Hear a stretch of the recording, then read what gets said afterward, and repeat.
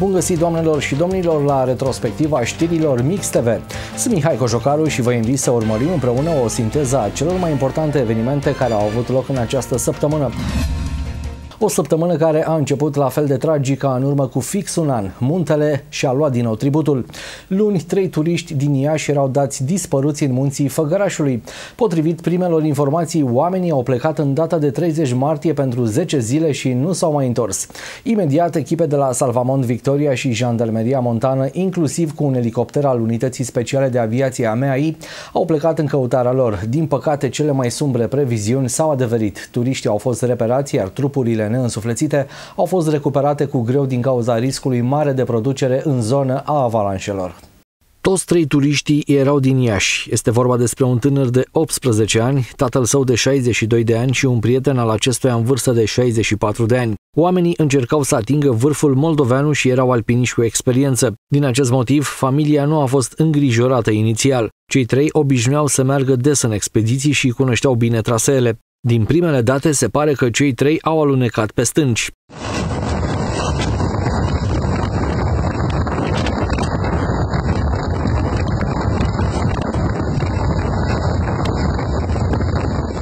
Operațiunea a fost extrem de dificilă din cauza pericolului mare de avalanșe. Din locul în care i-a lăsat elicopterul, salvatorii au mers peste jumătate de oră asigurați în corzi până în zonele de intervenție. Zonele în care se aflau cele trei trupuri erau extrem de accidentate. Temperaturile pe creastă înregistrau valori foarte ridicate, existând astfel pericolul permanent de avalanșă, fapt ce a impus salvatorilor atenție mărită în alegerea unor trasee de recuperare și transport a trupurilor cât mai puțin expuse căderilor de pietre sau alunecărilor de zăpadă.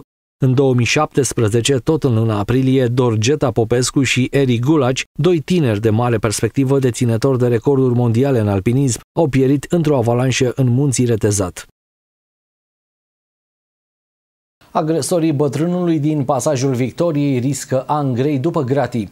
Minim 5, maxim 20 de ani de închisoare. Tinerii care l-au bătut cu bestialitate pe bătrânul din pasaj vor fi judecați pentru tentativă de omor. Procurorii au anunțat miercuri schimbarea încadrării juridice a faptei. Cei doi tineri care au bătut crunt un bătrân în pasajul din zona hidromecanică din Brașov riscă între 5 și 15 ani de închisoare sau chiar între 7 și 20 de ani de stat după gratii. Aceasta survine ca urmare a schimbării încadrării acuzațiilor în tentativă de omor, iar în cazul în care aceasta s-a produs sub influența băuturilor alcoolice, pedepsa este mult mai mare.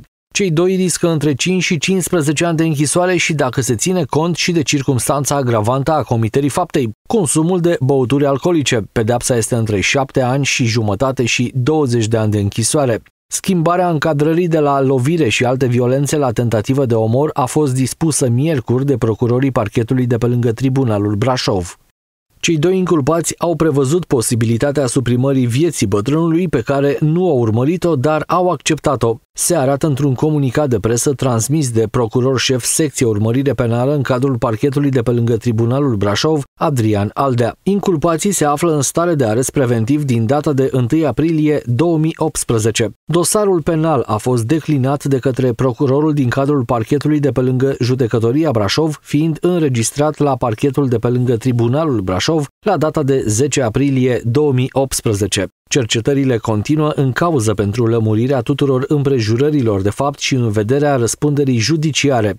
Actele de urmărire penală în prezenta cauză s-au efectuat cu sprijinul ofițerilor de poliție judiciară din cadrul Inspectoratului Județean de Poliție Brașov, Serviciul de Investigații Criminale. Se mai arată în comunicat. Dumitru Neculai, bătrânul agresat în pasaj în vârstă de 68 de ani, se află în continuare internat la Spitalul Județean Brașov, unde a ajuns imediat după agresiune. Comisarii de la Protecția Consumatorului nu au avut liber de sărbători. Aceștia au fost în control pentru a-i depista pe comercianții care încalcă legea. Numărul agenților economici care nu respectă normele în vigoare în detrimentul clienților este mai mic față de anul trecut, însă practicile sunt aceleași, respectiv produse expirate sau depozitate necorespunzător. Foarte mulți consumatori evită să citească eticheta produselor când merg la cumpărături, cu atât mai mult când în magazin forfota entoi. Este greșit, spun comisarii de la OPC, mai ales că în perioada sărbătorilor pascale unii comercianți nu s-au putut abține și din dorința de a câștiga suplimentar au recurs la metode neortodoxe de a înșela cumpărătorii. Din fericire este o perioadă în care nu am avut incidente deosebit de neplăcute în sensul în care uh, nu am discutat de toxinfecții alimentare sau alte situații la fel, la fel de delicate. Uh, totuși, uh, din păcate, încă au fost descoperiți numeroși agenți economici. Discutăm de aproximativ 80.000 de lei amenzi uh, aplicate în această perioadă strict pentru uh, tematica referitoare la uh, perioada de pași și produse specifice acestei, acestei perioade, care au scos la iveală încă că unii agenți economici pun mai presus câștigul financiar în detrimentul calității și a respectării normelor legale. Principalele probleme au fost cele referitoare la produse alimentare expirate, depozitate necorespunzător, chiar unele cu modificări organoleptice, Acțiunile vor continua cu aceeași intensitate și în perioada următoare, mai ales că foarte curând urmează o altă mini-vacanță pentru români, de Rusalii și 1 mai. Ca de fiecare dată ne adaptăm în funcție de uh, necesitățile perioadei. Vom, uh, vom începe controle tematice referitoare la spațiile de îmbăiere, bazine, piscine, uh, mai, ales, uh, mai ales în această perioadă în care fluxul uh, de consumator va fi unul foarte mare, dar bineînțeles că departamentele specifice care rămân uh, să supravegheze piața în sensul de produse alimentare, servicii, va funcționa în continuare la parametri maxim. Reprezentanții OPC le recomandă brașovenilor să reclame la numărul de telefon 021 9551 orice neregulă depistată din partea comercianților. Contribuțiile achitate de brașovenii conștiincioși la bugetul local până la sfârșitul lunii martie au fost cu 5 milioane de lei mai mult față de aceeași perioadă a anului trecut.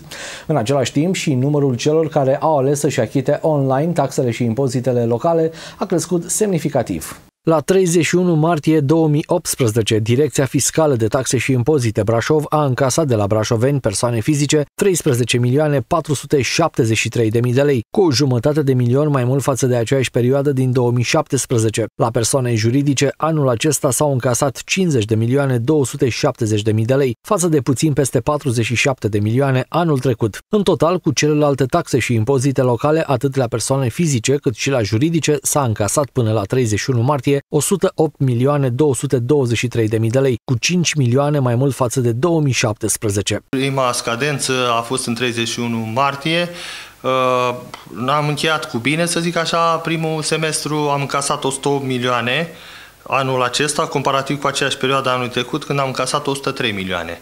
Numărul contribuabililor care au plătit prin brașovcity.ro și ghișeul.ro, acesta depășește 13.000, aproape dublu față de perioada similară din 2017. A crescut, aproape s-a dublat uh, plata online, atât ca în valoare absolută, cât și ca număr de, de contribuabili. Contribuabilii care nu și achită în termen taxele și impozitele locale vor plăti penalizări pentru fiecare zi de întârziere. Misiune îndeplinită cu succes. Militarii detașamentului de apărare antiaeriană Lilieci Negri, parte componentă a grupului de luptă al NATO din Polonia, s-au întors acasă. După o misiune de șase luni în afara țării, militarii batalionului 228 apărare antiaeriană Piatra Craiului au revenit în țară. Ceremonia de repatriere din Polonia a avut loc joi în prezența colegilor rămași în țară, dar și a familiilor și oficialităților locale.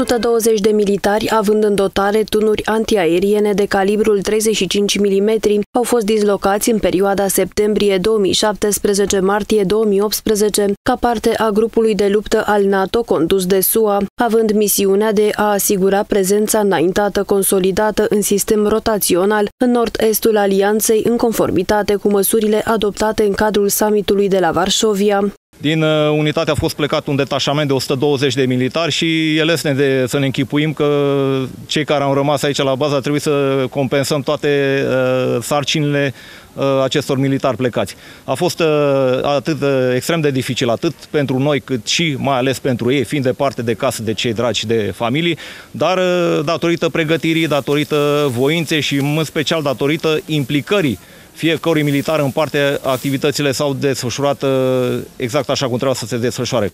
Am avut uh, o mulțime de prezentări de tehnică și de activități legate de descurajare, spunem noi, pentru a, a ne arăta tehnica și oamenii din zonă să ne cunoască și să ne diferențieze. Noi spunem că ne-am desfășurat activitățile în condiții foarte bune. Jumătatea de an petrecută alături de partenerii NATO nu a fost deloc ușoară, însă a meritat, spun militarii care au petrecut iarna în Polonia. A fost o misiune deosebită, o șansă unică să ne pregătim cu parteneri internațional cu britanici, cu americani și cu croați și cu polonezi, bineînțeles. În Polonia e mai grea decât cea din România, dar fiind de la vânători de munte, suntem obișnuiți cu frigul. Mă bucur că am venit acasă. A fost o misiune destul de grea, uh, dar ne-am ridicat la așteptările colegilor cu care am lucrat, uh, colegii americani, polonezi, croați.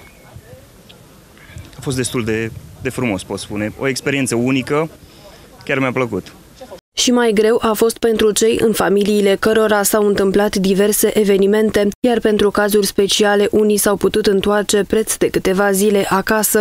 Am avut o parte în luna decembrie de o permisie de 5 zile, uh, pentru că anterior uh, a născut soția mea, o fetiță, uh, și sunt nerăbdător să o văd acum. Depărtarea a fost grea și pentru cei rămași acasă. Timpul a trecut însă, iar acum familiile s-au reîntregit.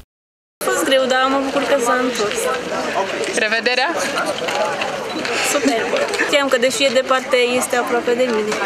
Trei dintre militarii abia întorși în țară au primit emblema de merit în slujba păcii, iar alte cadre care s-au remarcat în misiunea din Polonia au primit diplome de merit. Militarii din Brașov au predat misiunea colegilor din batalionul 205 apărare antiaeriană general Gheorghe Pârvulescu de la Craiova, care vor executa o misiune de șase luni. O nouă investiție finanțată din bugetul județului Brașov menită să asigure condiții optime atât pentru micii pacienți cât și pentru personalul medical a fost finalizată la Spitalul Clinic de Copii. Este vorba despre reabilitarea și modernizarea secției de chirurgie care dispune de 20 de paturi și care astăzi a fost deschisă oficial. În urma unor lucrări care au durat șase luni, saloanele cu două, trei sau patru paturi din cadrul acestei secții au fost complet renovate și recompartimentate, astfel încât fiecare să dispună de baie proprie. S-au reabilitat toate instalațiile electrice, de gaze medicale, da? oxigen, aspirație, s-au pus instalații de alarmare la fiecare pat, instalații pentru uh, incendiu, uh, adică exact ceea ce presupune o secție modernă de spital care să îndeplinească toate cerințele. Tot în acest an uh, vrem să facem cu bani de la Consiliul Județean și stația de sterilizare, să ne modernizăm stația de sterilizare și să înființăm compartimentul de spitalizare de zi care vor fi la uh, parter. Încăperile și holul au fost zugrăvite, ferestrele și ușile vechi au fost înlocuite cu tâmplărie PVC, paturile și celelalte piese de mobilier au fost schimbate cu unele moderne. Totodată au fost înnoite instalațiile electrice și de climatizare, instalațiile de oxigen, aspirație și fluide, precum și cele care țin de siguranța pacienților, asigurând alarmarea în caz de urgență medicală sau de incendiu. Sănătatea reprezintă o prioritate a mandatului meu de președinte al Consiliului Județean. În fiecare an am alocat bugete substanțiale pentru fiecare unitate medicală, chiar dacă de cele mai multe ori nu am avut bugetele corespunzătoare, am făcut în așa fel încât lucrările să continuă, iar ceea ce vedeți în fiecare an vom uh, inaugura mai multe, mai multe spații medicale corespunzătoare uh, zilelor în care trăim. Lucrările de modernizare a infrastructurii spitalicești și înnoirea mobilierului au totalizat 600.000 de lei, finanțare alocată din bugetul Consiliului Județean Brașov. Start în afaceri cu 38.000 de euro nerambursabili. Tot ce vă trebuie este un plan antreprenorial bine structurat și bazat în primul rând pe idei creative.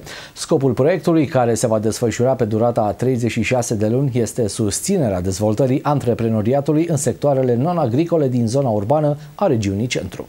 Bugetul acestui proiect de formare profesională antreprenorială implementat de ADR Centru în valoare de aproape 9 milioane de lei este dedicat asigurării instruirii pentru minim 300 de persoane din regiunea centru, selectarea a minim 36 de planuri de afaceri. Tot din acești bani este susținută înființarea firmelor pentru inițiatorii acestor planuri de afaceri, completarea instruirii formale a celor care și-au propus să dezvolte aceste firme cu instruire practică printr-un internship în companii mature din domeniile pe care antreprenorii le vizează, precum și finanțarea planurilor de afaceri cu o sumă de maxim 38.000 de euro pentru fiecare proiect în parte. Startup înseamnă firme noi, cu o perioadă de pregătire cu un curs de antreprenoriat care va avea minim 40 de ore și în care se vor putea certifica la nivelul regiunii peste 300 de persoane în cele șase județe din regiune.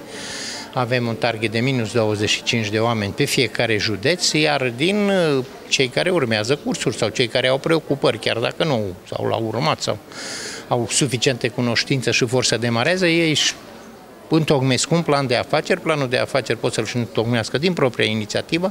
Scopul proiectului, care se va desfășura pe durata a 36 de luni, este susținerea dezvoltării antreprenoriatului în sectoarele non-agricole din zona urbană a regiunii centru, ca o condiție esențială a dezvoltării economice și sociale a regiunii. Noi suntem deja în derularea unor asemenea proiecte, am reușit să adunăm acel grup țintă și am început cursurile de competențe antreprenoriale și vă spun că printre cei care urmează aceste cursuri, care sigur sunt uh, uh, au în componență și partea practică de redactare, de alcătuirea unui plan de afaceri, deci printre ei sunt multe persoane cu idei foarte bune și care chiar au niște noțiuni pe care de-abia așteptăm să le vedem puse pe hârtie, sigur va fi o selecție de planuri de afaceri, după care transpuse în practică.